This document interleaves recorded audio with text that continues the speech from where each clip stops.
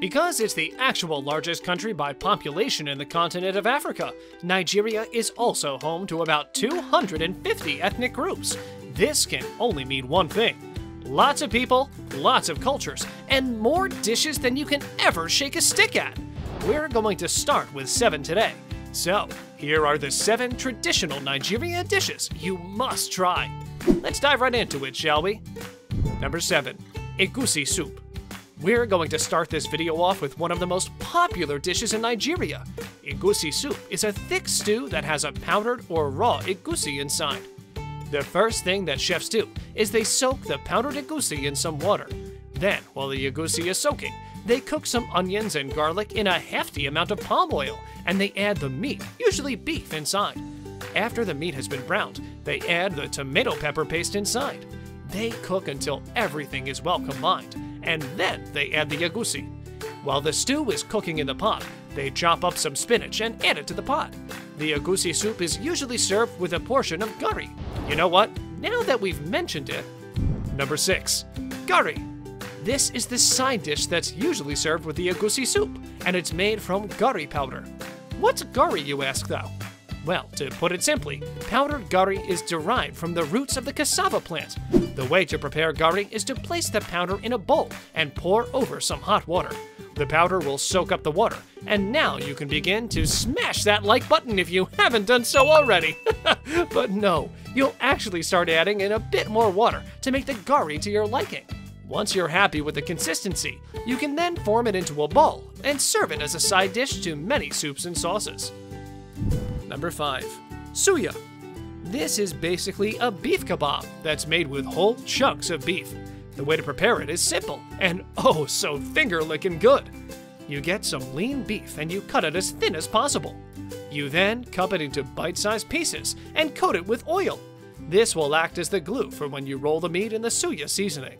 Once thoroughly coated, you will then place them on a grill or in the oven and you'll cook them until tender. This is basically it. we told you it's simple.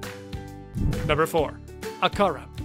This is the part where we talk about the Nigerian donuts. But instead of flour, the akara is made with white beans, which have been soaked for at least overnight and peeled.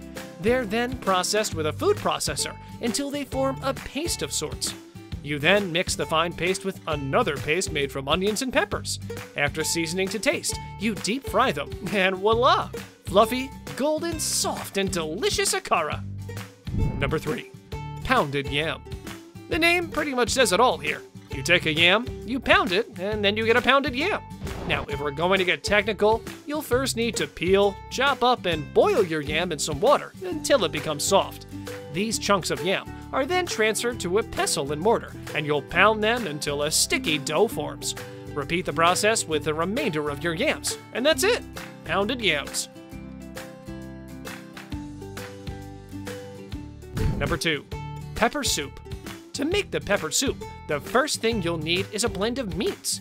The blend of meats consists primarily of beef, goat, and tripe, while some people even like to add kidneys, liver, and ponmo to the mix. Everything is fried off with some chopped onions and a stock cube. After cooking over a low heat with a closed lid, you'll add in some water and pour in the spices. The most common include cayenne pepper, black pepper, crayfish powder, and of course, pepper soup spice. Cook until the spices are absorbed into the meat. Taste for seasoning, and you're ready to serve. Number 1. Jollof Rice. They call it party rice because it makes you want to dance when you try it.